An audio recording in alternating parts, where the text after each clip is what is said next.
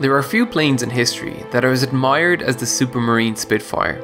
It played a pivotal role in the battle for air supremacy during World War II.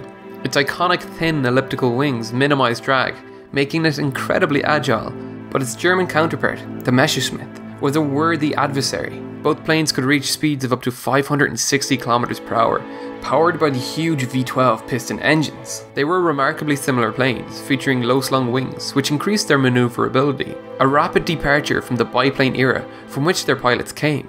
Both planes featured retractable landing gears, which many pilots were unfamiliar with, causing some to forget to lower their wheels for landings. But the early versions of the Spitfire had an alarming flaw. When performing negative G maneuvers, the engine would cut out, I believe you can actually see this in the opening shot of the 1969 movie, Battle of Britain. Listen for the sound of the engine cutting out, followed by black smoke, a sign of surplus fuel entering the engine.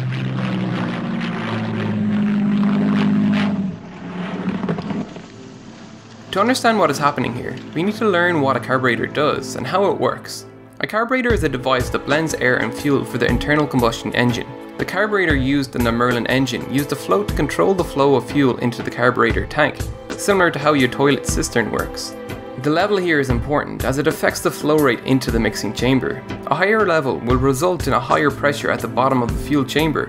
There is a low pressure zone created at the nozzle with the Venturi effect, which is the reduction in fluid pressure as it passes through a constriction. This pressure difference draws fuel from the float chamber. A larger pressure difference will result in a richer fuel mixture. This air-fuel mixture continues on and enters the piston cylinder to power the engine. The air-fuel mixture percentage can be altered by opening and closing these two valves. This is the choke valve, which closes when starting the engine. This increases the drop in pressure even more and draws more fuel from the float chamber, resulting in a richer air-fuel mixture, which is needed when starting the engine. But an over-rich fuel mixture will not cause an increase in power. It will actually stall the engine. Remember this for later. The second valve is the throttle valve, which is controlled by the accelerator. When the accelerator is fully depressed, this valve will open to allow the maximum amount of air and fuel to enter the engine. This type of carburetor worked fine with early cars, but for a plane that can turn upside down and enter deep dives, it struggles. If a plane fitted with this system enters a negative G dive, fuel is forced to the top of the float chamber. This results in the first loss of power, as fuel can no longer enter the engine. But the float is now forced down, which opens this needle valve, allowing fuel to enter the float chamber. If this maneuver is held too long, the resulting air-fuel mixture will flood the engine and stall it, possibly making it impossible to start again. Now that clip makes a lot more sense. As the plane turns over, the engine is starved of fuel and shuts off. Then as it returns to level flight, an over-rich fuel mixture enters the engine, resulting in the black smoke. German pilots quickly realised this flaw, and it gave them an edge in dogfights, as their planes used a fuel injection system, which didn't suffer from this problem. With the war raging, Britain needed a quick fix for this problem, and this was where Beatrice Shilling came in. Beatrice was a young female engineer working for the Royal Aircraft Establishment. She came up with a beautifully simple stopgap solution for the problem. She installed a simple brass ring between the end of the fuel intake pipe and the entrance to the carburetor chamber. This restricted fuel flow into the carburetor to the maximum it needed during a dogfight. This did not solve the initial fuel starvation problem, but it did delay the more serious problem of flooding the engine.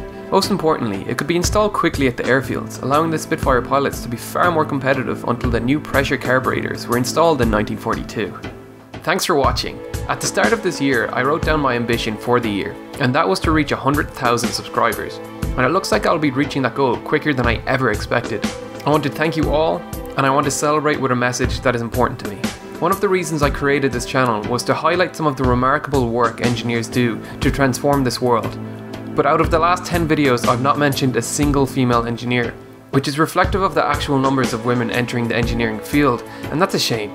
I'm not sure the reasons for this, but I truly believe we need to bring attention to some of the great female role models in engineering. Beatrice Shilling is just one of them. Together, I hope we can inspire a new generation of children that want to use their talents to make this world a better place. If you have a younger sister or a daughter, please share this video with them and let them see the impact they can have on the world. Thanks again.